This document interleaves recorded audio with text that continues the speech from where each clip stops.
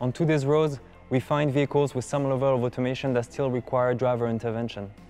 Developing automotive connectivity is essential to reach more advanced and complete automation. And this will require fast and reliable direct communications between the vehicles, the networks, and the infrastructures. In years to come, cars will offer more communication services, driving assistance, and will ultimately provide a complete and secure control of the vehicle's motion. The driverless era will begin with all the services it will provide, such as autonomous taxis, buses, and delivery vehicles.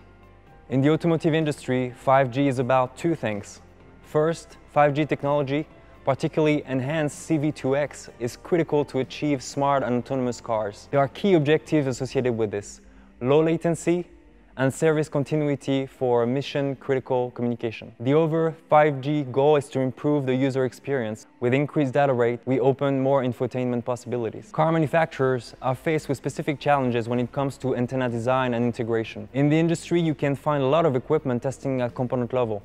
However, it is critical that antennas also be tested when they're fully integrated in the vehicle. And why is that? Because the environment surrounding the antenna has a significant effect on its performance and additional tuning might be required to achieve targeted specifications. The big advantage of the SG3000 is that it is designed to cover both component and system level testing.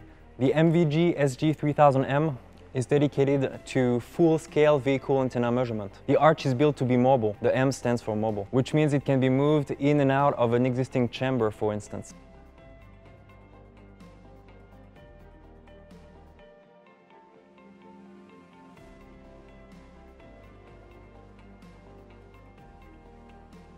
The system performs fast and accurate antenna measurement thanks to the combination of multi-probe MV-scan technology and the embedded oversampling, whatever the antenna size and location on the vehicle. It covers a large frequency range from 200 MHz to 10 GHz, supporting the majority of existing protocols for end-to-end testing. In conjunction with MVG post-processing software, on-road performances can be evaluated and the electromagnetic field can be backpropagated on the car structure to get both a complete understanding of the antenna-to-structure interaction and create a link to simulation tools.